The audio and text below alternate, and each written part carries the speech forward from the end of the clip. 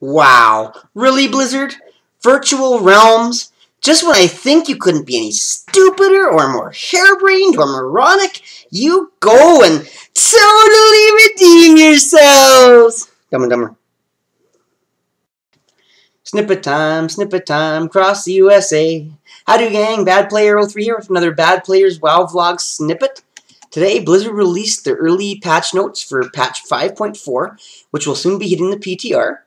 The siege of Orgrimmar will soon be upon us. Anyways, one of the more surprising announcements is the introduction of virtual realms. This feature will be completely game-changing for low population realms.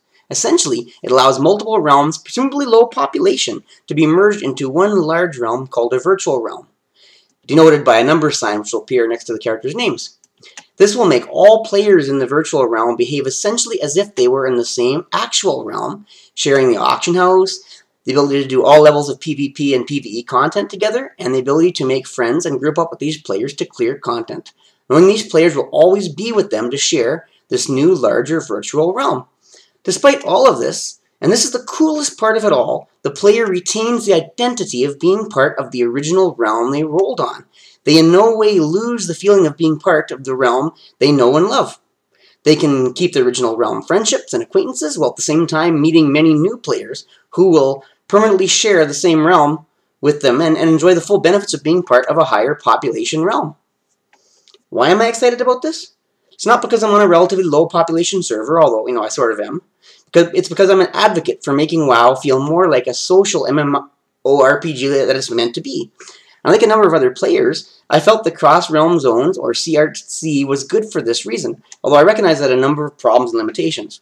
However, not long ago I joined a big debate on one of the forums about how CRZ was killing WoW. The biggest arguments against it were that it took away from the benefits of a low population server, such as virtually free access to an abundance of resources with virtually no competition, without giving the benefit of a high population server, such as a more stable economy, lots of players to befriend and group up with, from time to time again to do all types of WoW content. The biggest restriction, of course, were high-level PvP, such as rated battlegrounds, and current tier high level PvE rating, neither of which are currently available cross realm. Well, doesn't Virtual Realms pretty much fix all these issues in one swoop? Now you can see the same players all the time, as if you were truly in the same realm, share an economy, and all types of WoW content, and you don't even have to lose the identity of the actual realm you are truly on. Sounds like a true win-win to me.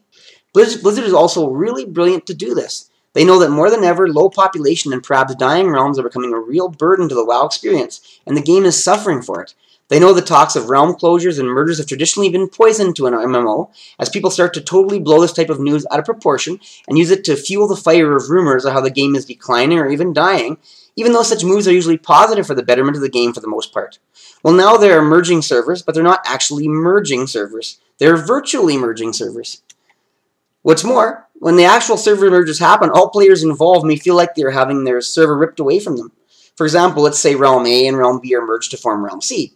Players from both Realm A and B have to accept the fact that they are now a member of Realm C and are no longer part of A or B, as those realms no longer exist. Well, now all the players involved get to feel like they're still members of the original realms, yet they still get to benefit from the experience of being part of a greater realm. Now, where can we see examples of this concept? Well, I want to draw on two examples, one from the real world and one from pop culture. First off, consider the concept of the United Nations. Can you imagine what would happen if they tried to merge multiple countries into one single country? In the face of nationalism, this would be an absolute disaster, as it would elicit massive public outcry. However, by allowing the nations to retain their national identity, yet form a stronger union where all the nations benefit from being part of the larger, stronger group, the union becomes quite acceptable. In pop culture, particularly Star Trek, Another example is the United Federation of Planets. In the Federation, every single member planet retains their planetary and racial identity, yet they unify to become part of a much stronger whole. I think in light of the fact that advances in MMO technology is getting to the point that soon the concept of server will not be part of, uh, of an MMO, this is an important advance in WoW technology necessary to ensure that it can continue to compete as a top MMORPG in the face of these new MMOs that will likely come in the future. This is, of course, speculation on my part, but I truly believe this is the future of the MMO genre. On a quick final note, of particular interest to bad WoW players like myself, Blizzard announced that Proving Grounds will finally be introduced in patch 5.4 as well. This will give players of a number of skill levels a system to develop better skills pertaining to their particular role, DPS, healer, or tank.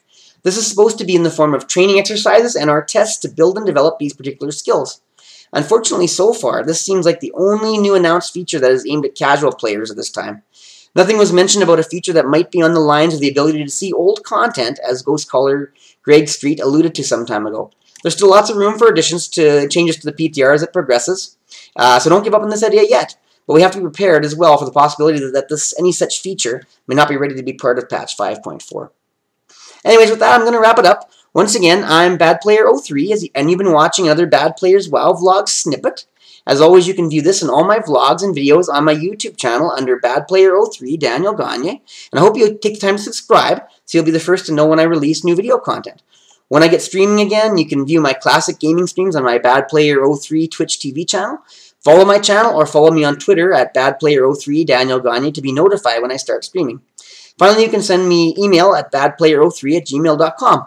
As always, I welcome, encourage, and look forward to getting feedback from you guys in the community. Thanks for watching. Bye now.